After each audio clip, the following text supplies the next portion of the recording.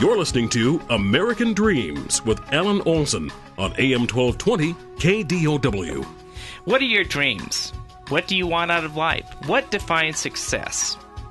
So, we've been talking with uh, Al Hulvey here today, and uh, Bob Ficken has been giving us some insight as a person currently in the, the job market here. And um, let me go back to Al. Al, in your position, I assume you come off a lot of situations uh, like our friend Bob. Right. You're right. It's interesting. Over the this started when, in the 80s for me. I was in a major corporation, and we started getting taken over by other corporations. The takeover uh, phase of corporate America, and I just saw a lot of folks like Bob lose their positions, and um, you know, and went through the 90s and so, most recently, just about five years ago, I decided to try to do something about it, and that's why I'm doing what I'm doing on this Career Actions Network. It just, it really upsets me that there are people like Bob. There are just, our country has incredible numbers of really experienced senior executives, well educated, wise people that are sitting on the bench for a prolonged period of time. So, um, you know, that's my passion to do something about that. Mm-hmm. Well, we had uh, Nadine uh, mentioned during the break that she she wanted to ask Bob a question, so we've asked Bob to hang over and uh, and, and Nadine, why don't you go ahead? Yeah, um, Bob, my question is this: You said that in the networking. Um, uh, organization that you belong to, you said that you would uh, review what type of businesses and com- corporations that you'd like to work for. Once you determined what corporations you do want to target, then how do you reach the gatekeepers or the, the, the job hiring people? Or what do you do to break into that corporation? Sure, it's a great question, Nadine. I think the most important thing, uh, if you can do it, and, and certainly exhaust uh, every method you have of getting this accomplished, is finding someone that can introduce you to the people in that organization you want to speak to. I mean, uh, usually the number one rule is you never want to just send a blind resume in. You want to know exactly who to send it to. Uh, if you can find the name of the hiring manager, for example, that's a much better way than just sending it to some you know blank mail stop or something like that. But the best way is if you actually can find someone that knows people in that organization that can make an introduction uh, whether it's the hiring manager or not, just someone that's in the organization that can sort of steer you the right way and perhaps uh, kind of open a couple gates or doors for you that will allow you a better entree and connect you to the right people. Great. Thank you. That answers the question. You know that that's really excellent advice. I think it's uh, it it rings true that anytime a person's out there doing business, typically the business that they you know that they, the, how business gets done is it gets done with people that they know they like, and they trust. Right. And uh, and, and so those relationships are, are, are paramount in this case. Yeah. Al, do you have any? Yeah, I you know what you just said, Alan. Fit is the critical thing. Um, when Bob, I'm sure you've hired hundreds, if not thousands, of people. I've done the same, and it's you know within minutes you can tell from a resume whether the person's capable of doing the job. And then just by sitting there talking to someone, you can see if they're excited about doing the job, so capable, ability, you know, to do the job, excited about it. The third part of it's the critical part. Will they fit in the organization? Will they fit in the culture? And that is the hardest part to determine. And that's a really personal kind of uh, process that you go through. And and a lot of folks go into organizations, they don't just interview one person anymore, the hiring manager. They'll interview five, ten people because they have to fit with within the culture. So that's a really critical part to it. That's interesting. So, do you find in the um, in the course of uh, a person losing a job and the transition, do you find that there that, that that at times re-engineering is required to, to come back and to make that fit, or what what what? How do you address that? Yeah, you mean as far well, you're talking about people going through a career transition from one functional, you know, area like HR to another. Or, or let, us take an example. So, uh, so you have the NUMMI plant recently closed. Okay. So you had all right. these workers out there.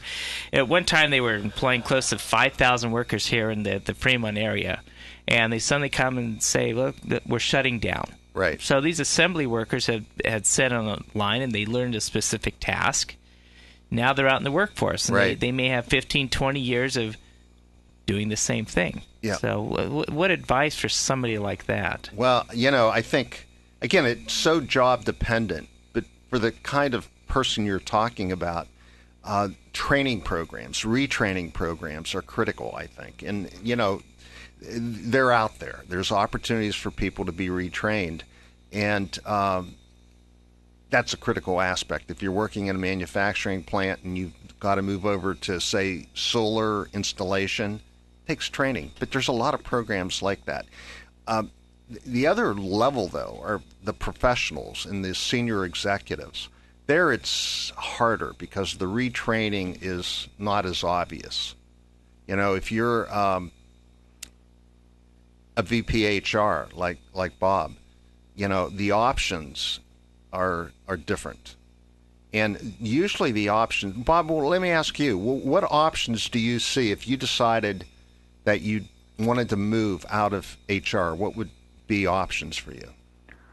Yeah, and uh, in the, the people that I've tried to develop uh, over the years, Al, typically what I tell them to do, or one of the suggestions I have, is uh, not only the types of retraining and courses and seminars, the kinds of things that you're talking about, but I often tell them to uh, go down and talk to uh, their local uh, charity or charities uh, or community groups that they already support and see if that charity or that community organization that they already believe in and already support needs some help uh, in the area that they want to transition their career to. So let's say, for example, that I wanted to move into um, operations. So I've got a couple of charities I already support and work with. I would go down there, I'd talk to them, and what I would do is I would explain the operational parts of my background and offer to provide that sort of advice to them and counseling to them in exchange for being able to document on my resume and in my cover letters that I've been handling that operational role for them. And I wouldn't get any pay for it, and Right. so it doesn't address you know the finance issues that people go through when they're transitioning jobs. But that would begin to uh, paint a different picture of me from my HR role. Uh, so I could get those charities or those organizations then to provide me with letters and documentation of the fact that I've been handling those operational responsibilities and all that to help build my resume up, and I would uh, use that to help with my transition. You know, it's interesting. This segment is talking about what are your dreams. And one of the things, and this could, uh, you know, I can uh, relate a, a personal story here. Um, my career has been general management, running divisions of major corporations and running internet startups. And uh, like I said, starting back in the 80s, I started seeing a lot of really good people losing their positions. And and it, it's devastating on a lot of people. They lose their self confidence. People get divorced. They lose their homes. It's. You know, it's, it's a a problem, and it's a problem in our society. So when I came out of my last job, I was running a internet company that was doing greeting cards. I just stopped and I said, "Now, what do I really want to do with the rest of my life?" And I decided I didn't. I had an opportunity to go in and do uh, internet video. I mean, audio training, music training, training kind of startup, and it just didn't seem very worthwhile. But the idea of going in and trying to help this whole area of job transition and trying to solve the problem we have today in that area just really appealed to me. So, you know, I started and with nothing and, you know, I'm building this company, but it's because I have a passion for it. And the people I bump into, some people like Bob, are people that try to find another position like they had before. But quite a few people are stopping, just like I stopped, and saying, Really, what do I want to do with the rest of my life? And if they can identify a passion, I was lucky. I've been let go or downsized or 12 times. So, you know, I have a real experience in this area of job transition. So I was lucky that I went through all those because I developed this passion for it. You know, I, I love the word passion there, Al, that, that you brought out. And in, in this process of, uh, you know, it's a transition from one stage of life to another. But oftentimes, you know, in, in, in, in my practice, we'll see all stages of life.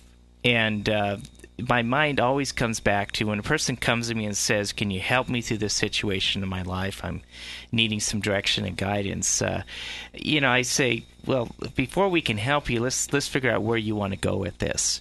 And um, and at the end at the end point, if we keep asking where you want to go, we'll eventually get down to the point that uh, because of our mortality, you know, some point in life that uh, you know we only have a certain amount of time to focus on and do the things that we want to do. And the 1980s, right when I was getting married, I picked up an article from the Reader's Digest, and this author had gone through and interviewed these people in a rest home. And they uh, they were at the twilight of their life, and, and the author said, uh, "Okay, if you could do it again, what would you do?" And by far, these people came in and said, if we could do it again, knowing what we know now, we would take more risks and we wouldn't worry about the day to day decisions as much as gathering the experience out of life. Mm-hmm. And it's just like Al, in your case, you renewed yourself and you you put your mind into uh, in, in, into a passion that you felt. It wasn't just about the money, but it was about the experience and the networking and the meeting of the individuals uh, that, that, that you saw. This is what I'm right, drawing right. out of that. So, yeah. Uh, um, Al, when when we met in, in the radio station, you told me you had the key to getting a job, and I really liked your answer. I said, "Okay, what is that key? Why don't you tell us?" Okay, real the real quick key is unconditionally helping other people. Hey, Al, it's been great having you today. Bob, thank you. And, and Nadine. Uh, this is Alan Olsen with American Dreams Key to Life Success. We'll be back with more information on what to do with your job search after this short break. Visit Alan's website at groco.com. More American Dreams is next on AM 1220 KDOW.